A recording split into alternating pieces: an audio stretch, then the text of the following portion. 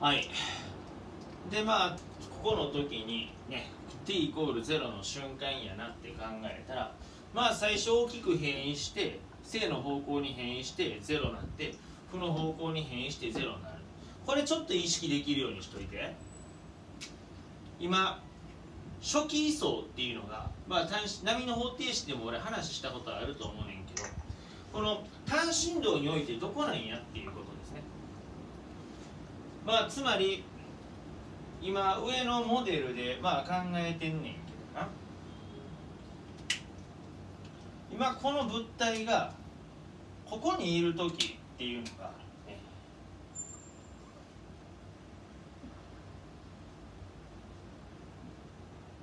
まあまあ t イコール0としたらまあちょっと一番振幅大きなのがまあ4分の t でまた戻ってきてまあ2分の1周期。で、まあ、一番こっちが来て4分の3周期、ね、でまあ戻ってきて、まあ、t イコール1周期。みたいな感じやなと。まあいう前提でちょっとお話をしますね。はい。でまあそうした時にはい。正の方向に行っとるから分かるかしら？これのこの瞬間やな。この瞬間ここをゼロにするんやな。ここを時刻ゼロとするんやな。まあ、そういうのをねちょっと考えていかないと実は正確に式作れないので、はい。まあ、少しそういうストーリーも話しましょう。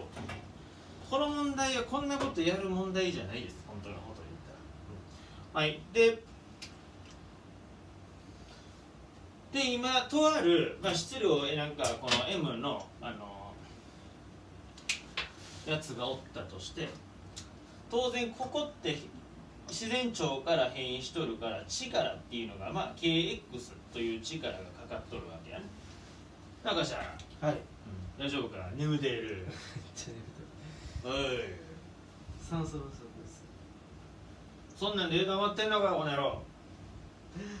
はい。で運動方程式を立てましょう。1ヶ月分はい一応こっち向き性で加速度というのは取りますから。ma イコールマイナス kx という式が成立するのは分かりますね。運動方程式、うん、で a というのが m で当然マイナス a オメガ2乗サインオメガ t と記述されています。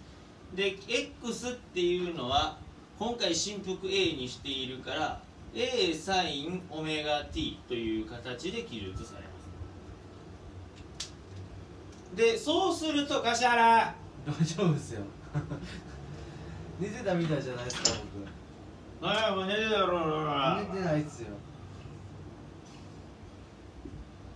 眠い時寝てもええねんけどな。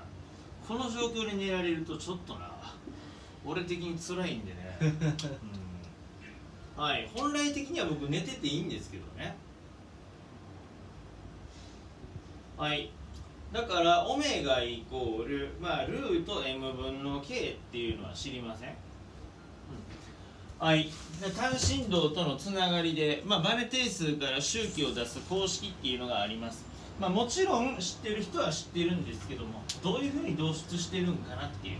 ちなみに俺はよく忘れるのでまあそういうことも踏まえてやってるんですけどはい。まあ t イコール、ね、はいオメガ分の2回。はい。でつまり周期は k 分の m これいつもどっちやったっけってなんねん。そうそう。そうこれどっちやったっけってなってそんなん言うてるようじゃダメなんですね。はいまあこれはね2パイルート上からマリコって言ってましょうえママリコですか？上からマリコって知らん？そんなんいるっすか？中山さん上からマリコってわかる？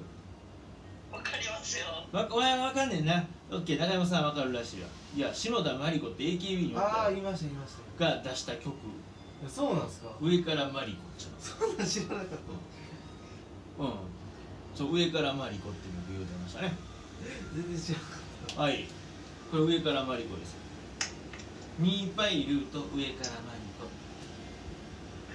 あじゃあそれなら大丈夫ですねトはい。多分覚えやすいです覚えといてな。どうでもええけどな。はい。でねまあまあこの問題は別に大したことはないんでまあバネ定数を求めて、まあ、0.20の変異の時に、まあ、どれだけのねあの復元力がかかるのですかみたいな問題ですよ。まあちょっと設定的に楽ちんなんでちょっと説明上使わさせていただいたと、まあ、いうようなところがまあ正しいかなと思います。はい。ただよくあるのがさ柏原君、はい。中山さんいいですか？はい今回僕新福 A でやってます。はっきり言ってこの5番全く関係ないです。よ もうすで全く解いてないもんな図だけですよ。図。柏原な出てるみたいじゃないですか。起きろお前この野起きて郎。ますよ起きてますよ。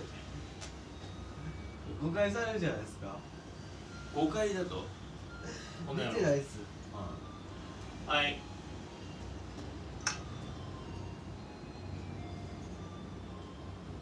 はいまあ例えばねあのどこから話すって言った時によくバネを伸ばした状態とか締めた状態からスタートしますから、まあ、その辺もちょっと加味しますね。はい。A 引っ張った。スタートすると。まあ、いう時にじゃあどういうふうに議論しなあかんかっていうのもちょっと考えておいてください、まあ、そうすると、まあ、この単振動の様子がですねどういうふうになっているかって言ったら無論この引っ張った状態から復元しようとします。だから、まあ、その時に今回はこの A 変異している t イコールところからねまあ t イコール0なわけですよね。だから1回中心に2分の π の時戻ってで t イコール一半周期いってまた戻ってくるなっていうストーリーはわかるかしらはい中山さんわかります t イコール0、4分の π2 分の π2 分のえ2分のえー、と4分の 3π4 分の3多分 π じゃないわえっ、と t イコール 4分の 1t2 分の t4 分の3周期1周期で戻りますと。まあいうことになりますね。はい大丈夫ですか？そうなったら、さっきの単振動の等速円運動の話でいけばどっからスタートしてんねんって言ったらこの観覧車のトップから始まってますよね。わかるかしら？ほんまぐってことはコサイン型っすか。はいよコサインやな、うん、はい。こっからまあとてっぺんから始まってるなって中山さんわかる？はい。うん、でその時に考えることは柏原君はいいことを言ってくれたコサイン型。ただ僕はもうちょっと補足する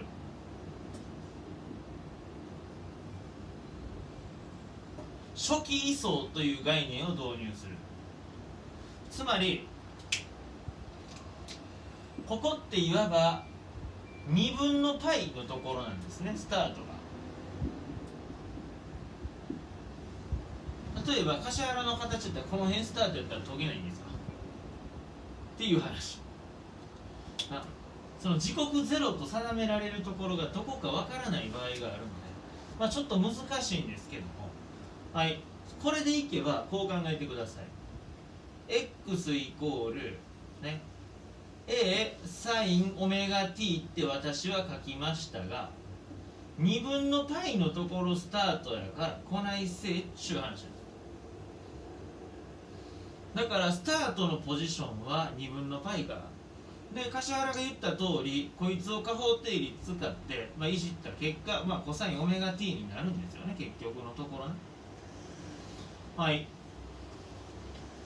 でもうちょっとここは簡単のために P t で微分ルールでもボンボンやっていきますと。はい OA オメガサインオメガ t ね。で A イコールマイナス A オメガ次乗をコサインオメガ t でまあその条件のもとで運動方程式を作ったとしたら MA イコール、まあ、マイナス KX で、まあ、式作ったら、まあ、結局一緒になるんですよ。ここコサインになっとるだけで。まあ揃っていってね。はい。一応導出のところをうるさく喋れば、ね、ここはちょっと僕もたけちゃんの魂をある程度受け継いでやりますね。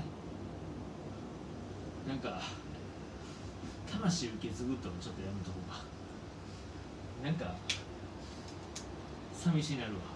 あのそうそう。そう、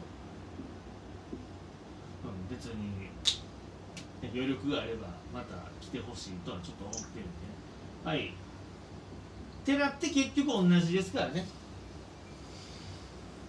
その振動の中心がそのスタートの位置がどこなのかっていうところでも、まあ、自在に単振動の式操れるようにしといてなっていうのが、まあ、僕の中ではちょっと意識の中にはありますで単振動の周期は中山さん見ての通りいかなる場合であったとしてもバネ定数 K と、ね、このしあの重りの質量 M で決まります。よろしいですか？はい。はい。では行きましょう。えっとねじゃあその辺に書いてることも5番の問題はちょっとセッティングだけ使ったからもういいですはいちょっと話しすぎたんでお前らも疲れたやろ。9番といてみろ。いいですか？9番。